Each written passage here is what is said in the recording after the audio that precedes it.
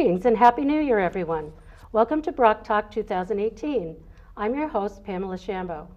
BROC Community Action has been offering hope and opportunity to Rutland and Bennington County residents for over 52 years. One way we're able to offer that hope and opportunity is to raise much needed funds through community events. One such event is happening later this month Rutland's Newlywed Game, proceeds of which will benefit BROC's Community Food Shelf, Rutland Community Cupboard, and the Salvation Army to feed local families in need. To talk with me about the event, I'm pleased to welcome to the show Eric Mallette, Programming Director at the Paramount Theater, Steve Costello, Vice President at Green Mountain Power, and the incomparable Mr. Ed Kelly. Welcome, gentlemen. I'm so excited to have this show on today. Yeah, it's gonna be fun. So, Steve, uh, why don't we start with you and have you uh, kind of give a little history of how we kind of came up with this? Sure. Well, over a decade ago, we started Pack the Paramount with the Paramount Theater with Eric and WJJR. Right. And for years, we were using that as our um, springboard for collecting food for the local food shelves. And the gimmick was to fill every seat with a box or bag. It kind of lost its energy after you know more than a decade of doing it, and we wanted to try something new. And after the food shelf opened, or I'm sorry, the food bank opened in Rutland, we really thought raising cash could be a lot more valuable than collecting a lot of food that then had to be sorted. So we came up with this idea. Eric actually came up with the idea last year to do the Pack the Paramount Newlywed Game. And we had a great event last year, one of the funniest things I've ever seen on the Paramount stage. And Absolutely. we're back for year two. And I just think that um, with uh, the excitement that we had with it last year, I know people started talking about it right after about, are you doing it again? Are you going to, you know, make this happen again? So, um, and Eric, I know you'd put a lot of the work into the background of this. So, why don't you talk about a little bit about what happens at Paramount when we try to put this together? when we try to put this together. Oh boy. No, Uh, when we put this You know, the truth is really it boils down to the couples, I think. Right. And and their willingness to really take this ride with us. It's a it's a big risk as a couple to jump on stage and be asked questions. I mean, we all seen the TV show. We know what these questions can be. and the couples have really, I thought, taken the ride with us. Ed, you were you and Fran were there last We year. We were there last year. I'm much more comfortable doing what I'm doing this year than I was last year. Well, I think Fran said the same thing. Yeah, it took me about a month to get her to commit to that. Really? Yeah, Oh, I once you didn't and I initially that. had talked about that. Yeah. And I went home and said, hey, how would you like to do that? I said, no way, I'm not doing that. But after about a month of prodding, I got her to do it, so it was, it was But it fun. turned out great. I mean, you guys were one of the funnier couples, and uh, everybody was great, though, especially She's our. uh, last year, our our, our little old uh, uh, oh what Santini's, Santini's. the Santini Oh, they were couple, they were great. So this year, though, we have eight new couples that are willing to put their marriage on the line, shall we say? Yeah, Um, you could say that, I think. and um, why don't you tell us who those are, Steve? Well, we have really eight wonderful couples from all walks of life, from all different parts of the community. I don't know that I'll remember all eight, so help me I out here, guys, you, if yeah. necessary. But uh, Trish and CP Bartenstein, Mm-hmm. um, longtime couple here.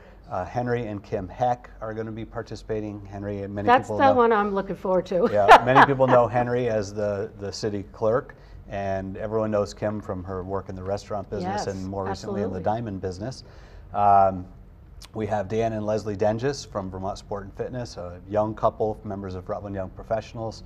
Um, we have Russ and Renee Marsan uh, from Carpenter and Costin, who are going to be, I guarantee, hilarious. Great. Um, love that, love them both. They're good friends, and Renee does not have a filter, so Oh. it will be very, very interesting to to see what they say and what they come up with for answers on the show.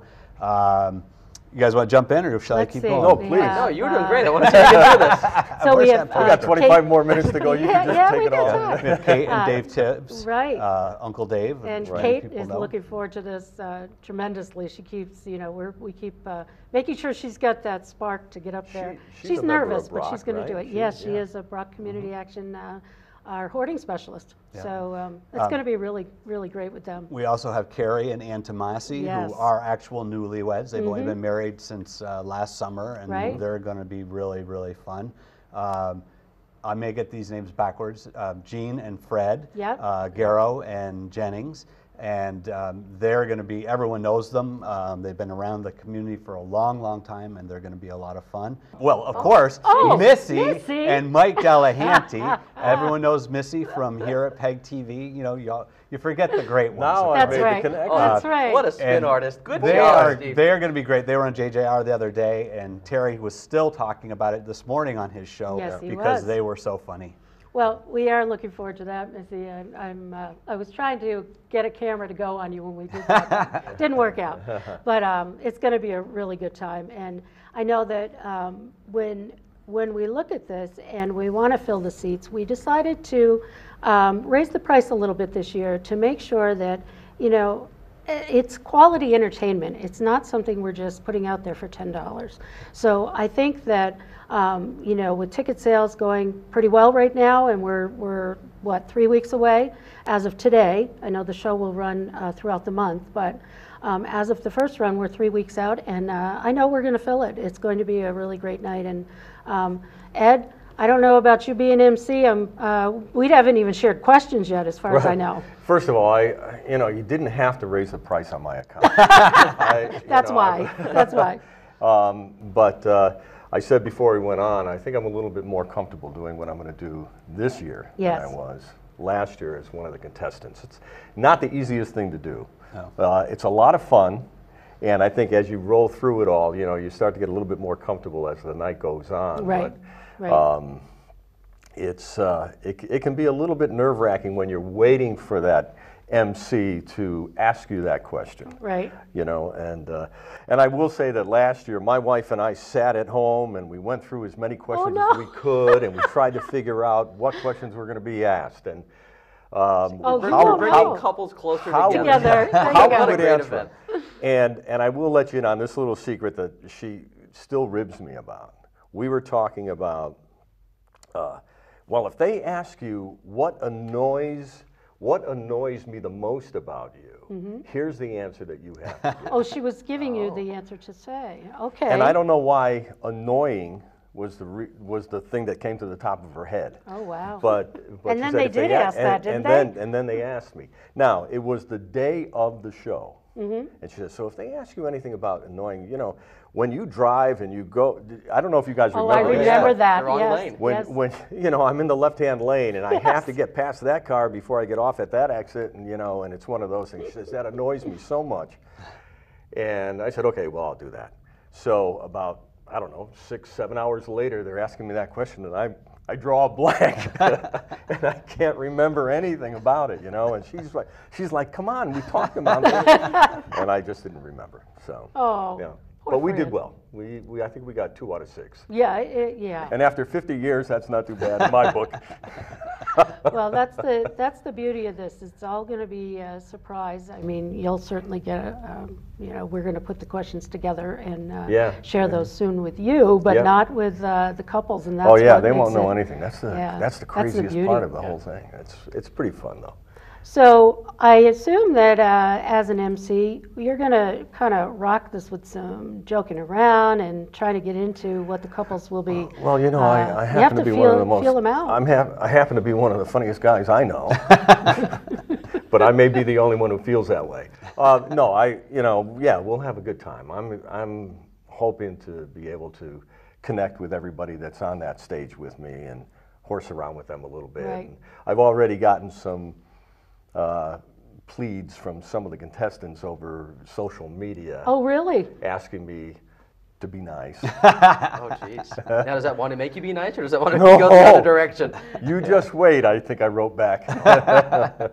Well, So- that's, you know, that's the beauty of this. It's all nice and surprising, and the audience will, will love every question that comes out, I'm sure, this year. Oh, yeah, I'm sure, And uh, the answers, and then watching the contestants, like, you know, when somebody gets it wrong, I think that's the funniest thing for me, because then you, you do get the old, like the old show with hitting with the card and, and all that. And uh, um, we just had some really good, good uh, reactions last year. we did have fun last year, and, and uh, there, were, there were a couple of questions but, uh, that came to other people that I was so glad didn't come to me. you know, to the women, you know, that, uh, I was glad they didn't come to me. But as far as the questions go this year, you know, I'm pretty much in charge of that after uh, we decide which questions they're going to be. And I'm really happy about that part of it. Well, we're very pleased that you agreed to be our, our Master of Ceremonies this year. It's, Well, I um, haven't done anything for like a month and a half, so I'm That's like, so. So you'll be ready but- to get out there and I'll be ready, yeah. public again. Yeah, I think that's after, uh, wonderful. what was it, 25 years I was Jeez. on the air here in uh, Rutland and uh, finished up my 44-year radio career on uh, 94.5 The Drive. So, Wonderful. you know, it was That's a lot fantastic. of fun. Yeah. it, was a, it was a great day, you know. It was. Thank it was you a for lot of dropping fun. by. Yeah. Yeah. And, uh, you know, so I basically, since that day, I haven't done a darn thing except recuperate. And, Yeah.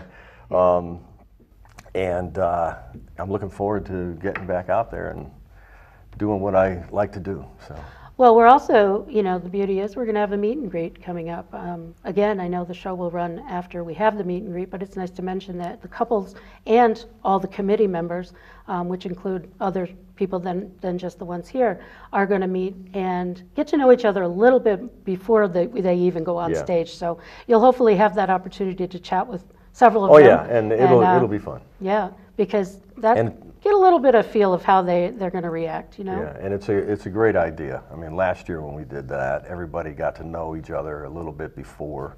They can all beforehand. commiserate on what, what, what it is they're At about the to walk time, into. yes, Yeah. yeah.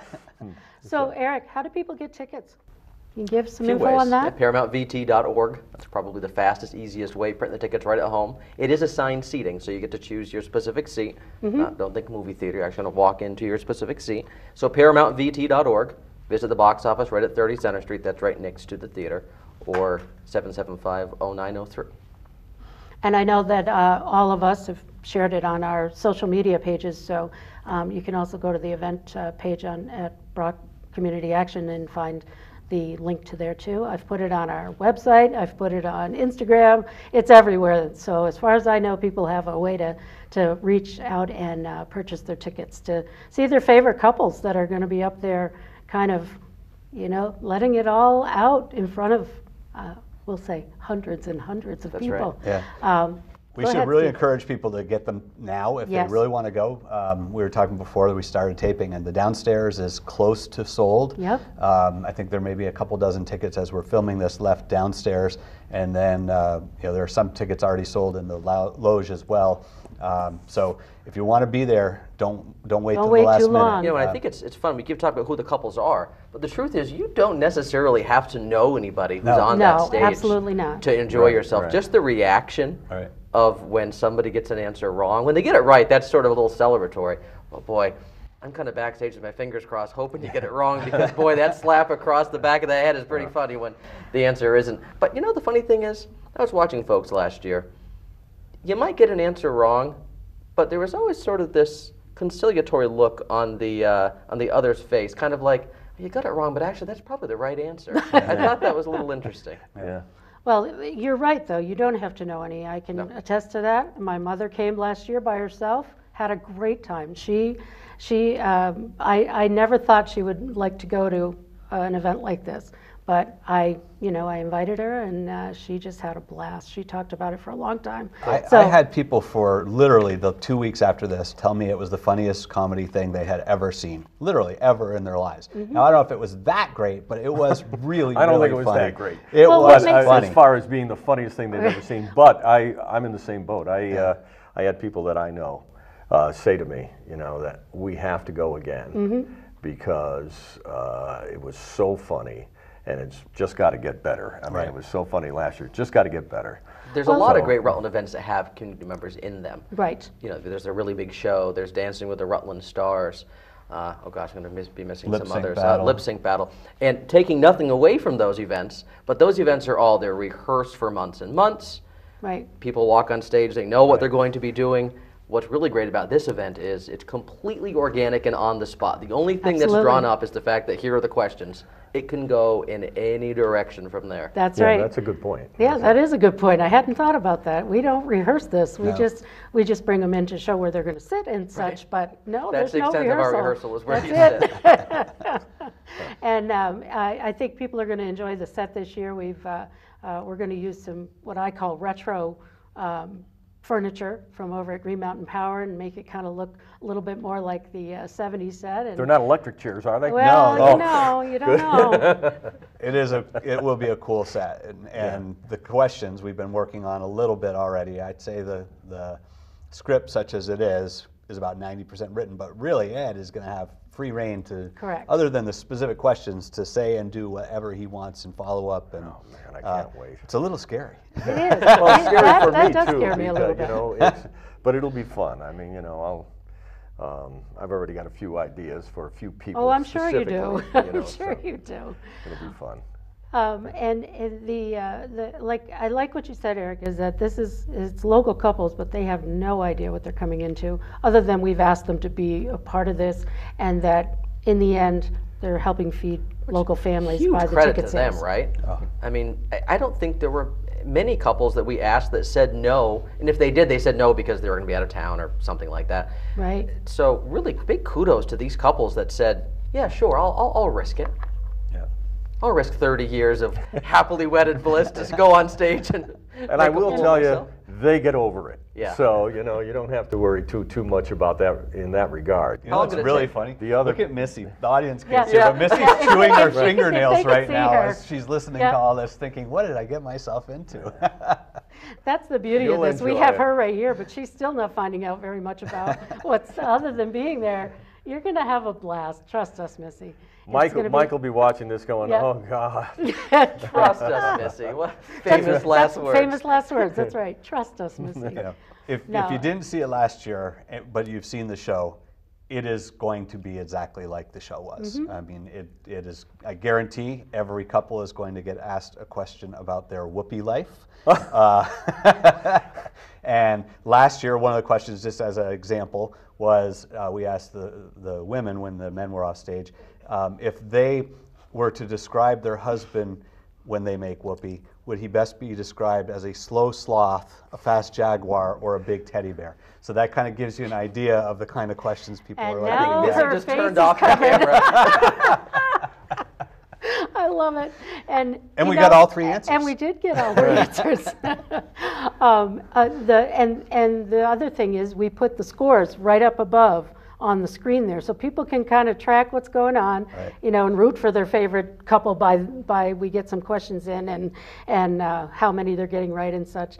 And um, you know, last year it was. Um, the Hubners Yeah. that, that won. Oh, that's and- right. And uh, they were able to uh, walk away the winners, but close second were, were the Santinis. I was, I have to say, I was rooting for them. They're such a nice couple. Yeah, they, what was it, like 65 years. Something years of mm-hmm. marriage, and and they left, and I've seen them since, and they still think it was the best thing they ever did. So That's great. you know, when you when you hear it from a couple that's been married 65 years, that's that's a Boy, when you heard their good. answers, there was no mystery as to how they made it 65 years. Oh, Their no answers kidding. were some of the sweetest answers Yeah. Right. and the most truthful answers. There was no baloney in mm-hmm. what Mr. Santini or Mrs. Santini There said. Not at was all. there was a question toward the end of the night with them, and it may have been in the playoff section I think yes. where he was asked what size, or they were asked what size yes. Dress, and everybody there was like this gasp throughout the theater, you know. And uh, my wife and I were in the back, and and. Uh, And you looked she at the label in her I- shirt. Well, well, no, I didn't. But, but what I was going to say is, she said, he's been a tailor since the day they met. Mm. Right. There is not going to be a problem with this question for him. And he was, he was so sweet. And I think, didn't he say like, she's a petite or something Yeah, along those a lines? It was petite so My favorite 12 answer or was- something. Yeah, it was. Yes. Oh, What he would was you great. What would you get if, if, if God forbid your home was, was on fire? Right. What what item would you and save? I would get her a sweater because it would be cold outside. Yes. It was the sweetest, most true thing Yep. I think Yeah. has ever been spoken on that What'd you stage. say on that one, Ed? what were you saving? Uh, I'm drawing a blank. yes, me too. But I just, uh, I, you know, those kind of questions are really fun. So there's some Oh, no, you know examples what? I wasn't part of that question, thank goodness.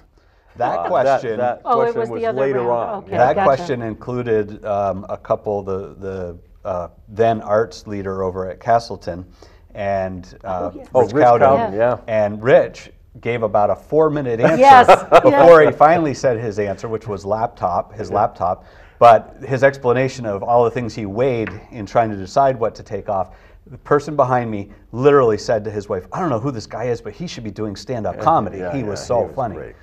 He is a funny guy. He is. It was great. I still, his posts are great. I follow him on Facebook. He's still funny. Yep. Um, but so I'm just, uh, you know, at this point, we just want ticket sales. Let's get the people there, and uh, we're going to have a really good time with everyone uh, that's going to be on stage. I'd love to talk Um, about the food a bit more. yes, it's something please. that really kind of caught me off guard. You know, Steve mentioned it when we first started talking here. Was the power of cash. Right. And my understanding is BROC can use this money, and the other the other receiving agencies can use this money a lot differently than say I could at the grocery store. Right. We are able to go to the Vermont Food Bank and take $100, let's say, I'm just using a figure, and that would probably get us quadruple what you would get Wow. for $100 Wow. because of the way they are able to raise the food and bring it in, and they can give it to you at a much reduced cost. Say a box of cereal. Um, in the store is what four dollars now. It's ridiculous. We can get it for a dollar, say. So you can you can uh, get more for the dollar. That's very cool. If you're if you're attending, if you're in Mm-hmm. the audience and you spent fifty dollars, you and, and, and the person you went with, Right. that becomes what, two hundred Yeah, dollars that worth of food. So you you can, can that's a great point, you know, Yeah. that's a good thing to point out, that you want to look at it that way, you're, you're really providing for these folks. And I'll tell you, i you know, from our um, perspective right now, we are extremely busy in our food shelf every day. It just seems to be a big need, but, you know, this time of year with the field assistance that's needed and, and other costs that come in, kids on vacation, you know, that really does play a part when families need more food, is Oh, when the kids are on vacation. The super cold weather we've had probably hasn't helped either. People Mm-hmm. Right. have broken pipes and extra fuel yes, bills. we've and- gotten lots of those, unfortunately, too. But the, you know, in the end, that's what makes it great is we're able to be there to serve, and the Community Cupboard and Salvation Army in the same way. We all are there to serve, whether it's the same people or not. It doesn't matter. You know, if somebody's hungry, we're not going to let them go hungry. There's no reason to do that in our, you know, in this day and age Right. when you have this opportunity like this to be able to stock your food shelf after raising, you know, last year we, we raised uh, 25, I think I think, thousand, $25,000 in one night, you which know, becomes, for one night's which worth becomes a of. hundred. Yeah. Mm. So I think in that regard, that's how people can look at this. The participants can look at it that way. The ticket buyers can look at it that way. You're, in the end, you're feeding your neighbors, your family members sometimes, your coworkers. It could be anyone, and you just may not know that they're that much in need. That's right, and it goes so much further that way too, I think. You know, when you think about like a figure that you just gave, like hundred thousand dollars, I mean, you could pack the Paramount with all of the things that we've done over the course of the last several years with Right. a bag in every seat. And I don't know that you would be able to garner that much for the food No. shelves No. if you did that. And so you I think also- that's what, what's the wonderful part of it, you know? The, the other great thing is this allows BROC and, and the other food shops to spend the money on what they need. That's right. Uh, Whether it's cereal Filling or tuna fish or Correct. whatever, um, as opposed to having to sort, you know, thousands of items that may or may not be in high demand. Right. And the beauty of that is we, we you know, um, most, I think uh, two of us at least, receive um, fresh fruits and vegetables and meat now from grocery stores. So we're able to supplement some of the, like a side dish, let's say. You know, we like to provide a meal for a family now. It's a lot different focus than it used to be of just cans and, you know, go home and open the can of beans. It's not that way anymore at the food shelves. And um, watching people go in and get to choose what they'll eat, we're not going to give them something they, they're going to go outside and maybe leave on the side of the sidewalk. You want people to get things that they're going to actually provide for their family and eat and, and trying to go more healthy. Um, that's a big focus right now with food shelves, you know, offering the healthy op, um, options that they can come in and pick out.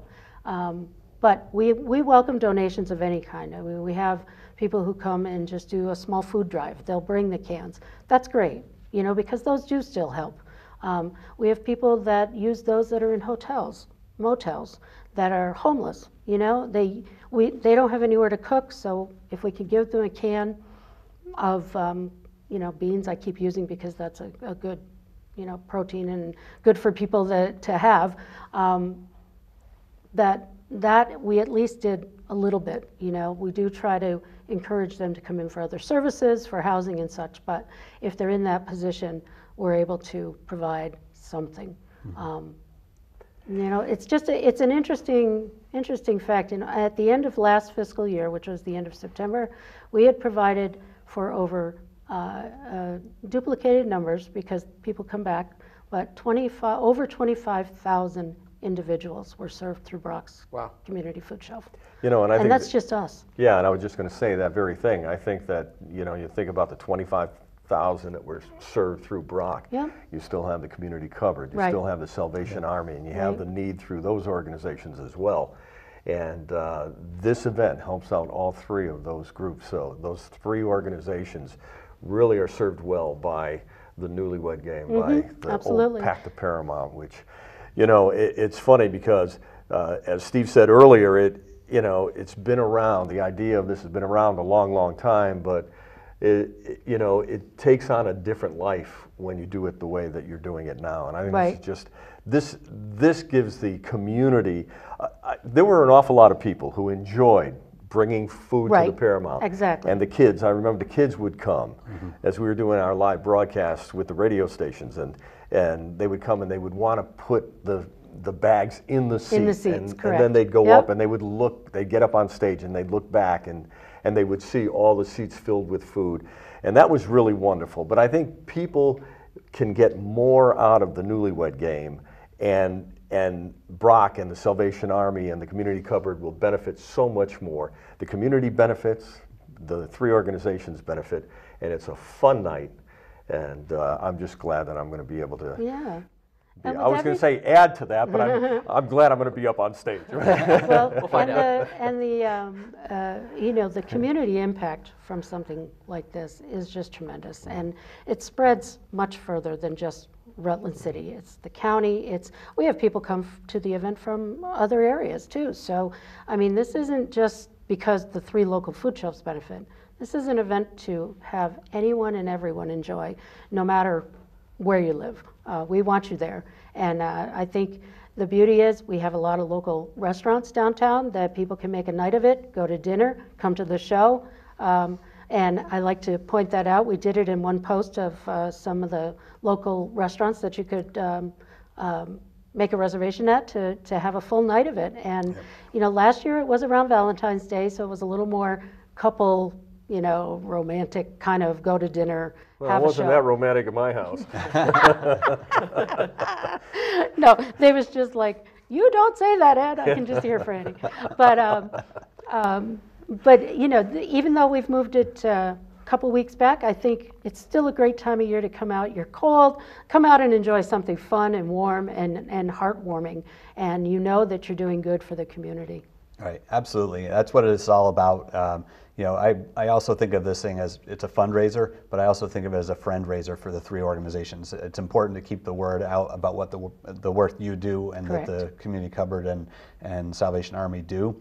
Um, you do guys, you guys do really critical work in our community, and it's important for people to remember that. And this is another way of doing that. So again, uh, we hope to raise twenty-five, thirty thousand dollars on this one night, and the way to do that is to get your tickets at the Paramount box office or ParamountVT.org, and uh, come on out. It's going to be fun. Yeah, I think we're going to have a great time. So I really appreciate you guys coming on. I, uh, I, I think this is going to be a, a great show to have out there, and it will be streamed uh, at PEG TV on demand uh, after a couple days here. So anybody can watch this. It doesn't. You don't have to have the channel 15 to to access this show. right. So. Um, I will uh, get that link out to everyone, and you can share it out to your friends so they can see how you did. But thank you so much for coming on. I was happy Thank to be you. here. I don't know about you guys. Yeah, definitely. And that's another edition of BROC Talk. Música